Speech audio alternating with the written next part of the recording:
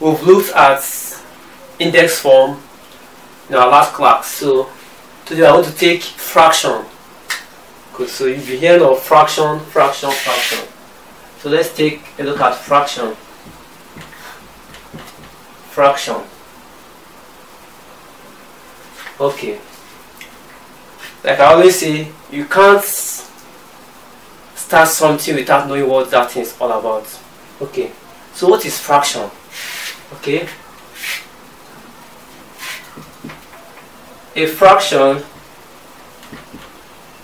a fraction is a part a fraction is a part of a whole. A fraction is a part of a whole. I define fraction as a part of a whole. Okay. Now, what do I mean by part of a whole? Part of a whole. Okay. For instance, I have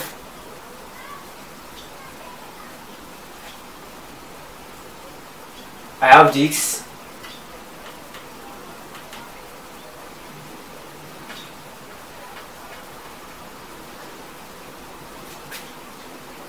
Or okay let's have something like this. Now something like this. And I want to take one part from this diagram. Now that part I want to take look at what I will do. I want to choose let's say I want to choose any of these parts I can come and say I want to take this. I want to take what? This. I've taken this.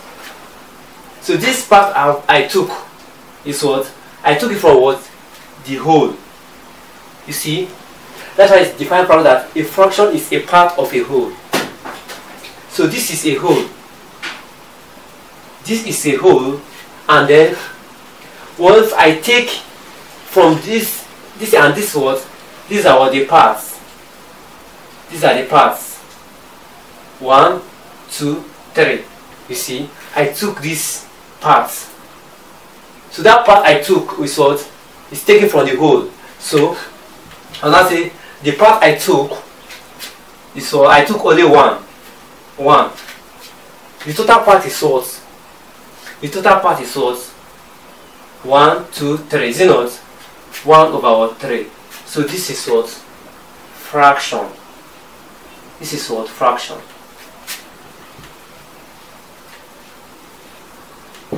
This is fraction. You see? Very easy.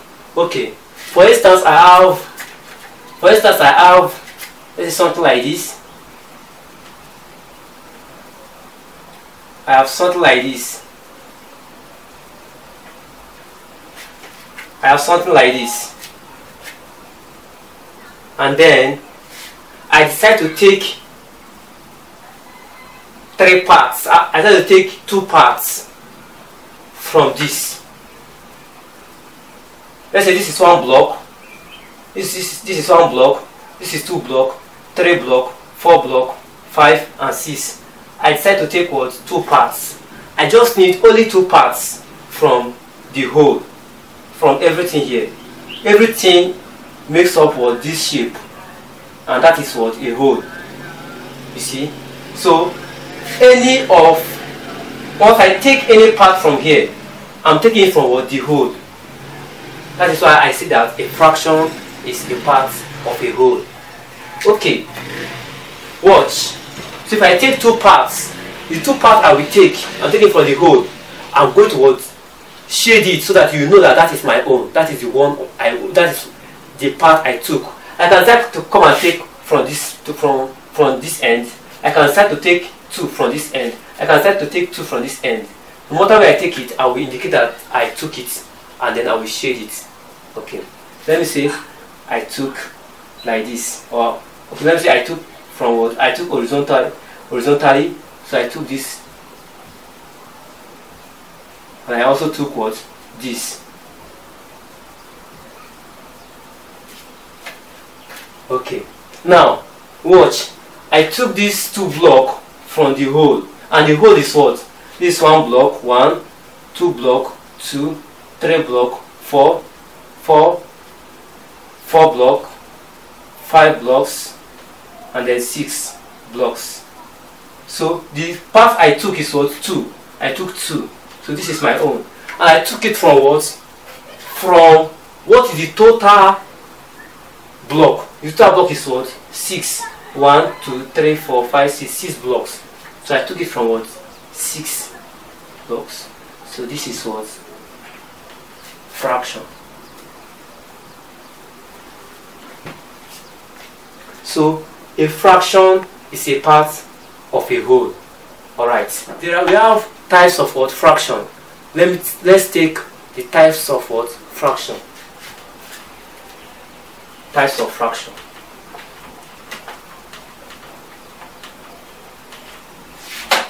Types types of fraction. Types of fraction. Yes, fraction has types. You see, fraction has types. So, now, and the type determine is being determined by what? The denominator. What do I mean by denominator? Don't worry, you will see when we take what? The types of what fraction. Now, if the denominator is greater than the numerator, that's a type of fraction. You see? So the types of fraction we have where type of fraction we have one proper fraction. We have proper fraction. We have proper fraction.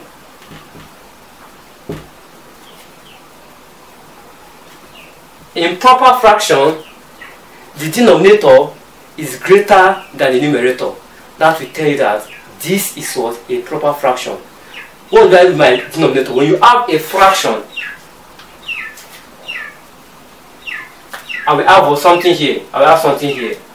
This is what my division is not. Yes, this fraction. The one, the number I have on top, the number I have at the top of my division line is what my numerator. Numerator. The number I have down is what the denominator. So we talk of proper fraction, proper fraction, and this is a fraction, this is a fraction. Alright, so I start. Proper fractions are fractions in which the denominator is greater than the numerator. Now this, now this is a fraction, or these are fractions. Let's say these are fractions. These are fractions. These are fractions in which the denominator, which denominator is greater than the than the numerator.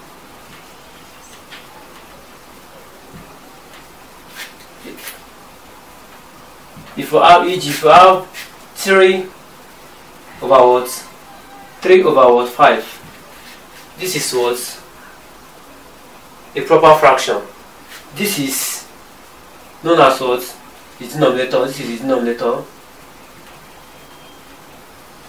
And this is what? The numerator.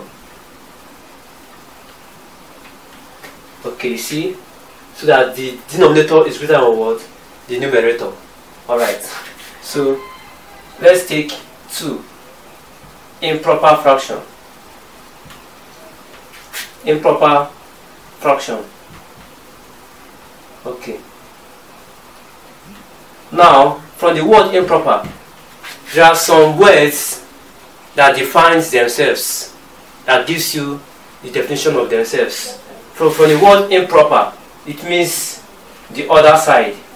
Yes, the word improper, which is abnormal. Alright. So improper fraction is when the numerator, these are fractions, these are fractions, these are fractions in which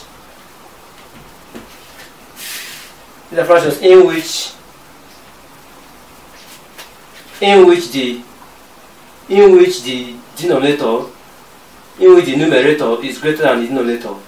In which the numerator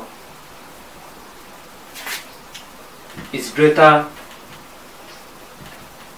is greater than denominators and denominator. In which the numerator is greater than the denominator.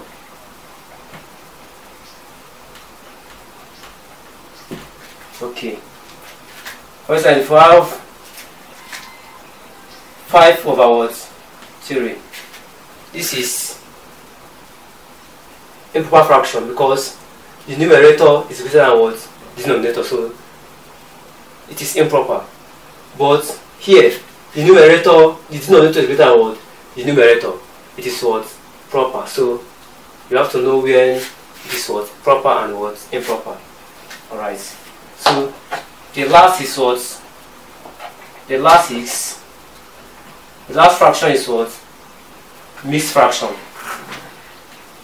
Mixed fraction. Mixed fraction. These are fractions. These are fractions.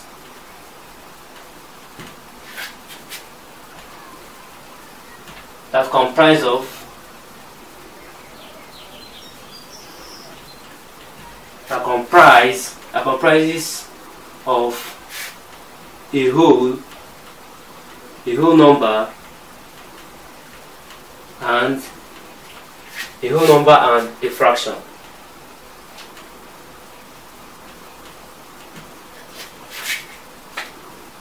For instance, I have 4 whole number 2 over what? 3. This is simply what? This is simply mixed fraction. My 4 is a whole number and then this is what? Fraction. 2 over 3. So, this 4 whole number 2 over 3, you see that the numerator, the denominator is greater than the numerator. So, in mixed fraction, it is usually what? The fractional part of it is usually what? Proper. So, it's comprised of what? A whole number and what? A fraction. Mixed fraction. Alright.